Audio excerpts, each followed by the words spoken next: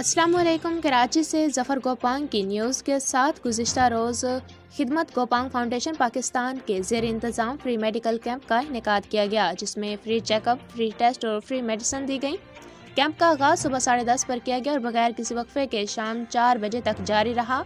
Namvar specialist डॉक्टरों के अलावा डॉक्टर मोहम्मद यूनस डॉक्टर सरतार अकील, मुख्तार खान जतोई ने खिदमत सर अंजाम दी और तकरीबन दो सौ मरीजों को इलाज की सहूलत फराहम की गई। इस मौके पर चेयरमैन खिदमत गोपांग, फाउंडेशन इस्माइल खान गोपांग ने बताया कि शहरी इलाकों के अहम दूर दराज इलाकों में भी देहाती इलाकों, गोठों, खास तौर पर शराब से मुतासर इलाकों में अपनी डॉक्टरों की टीमें भेज रहे हैं। उन्होंने मजीद कहा कि हमारी कोशिश है कि इन इलाकों तक रसाई कर सकें जहाँ इसकी अशद ज़रूरत है।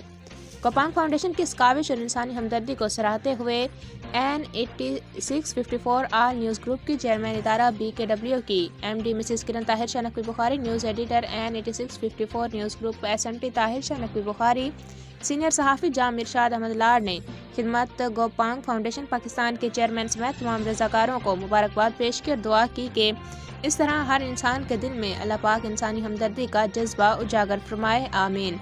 जवेरिया बतौल और news editor S M T Tahir Shah Naqvi Bukhari को इजाज़त दें। अल्लाह निगबान।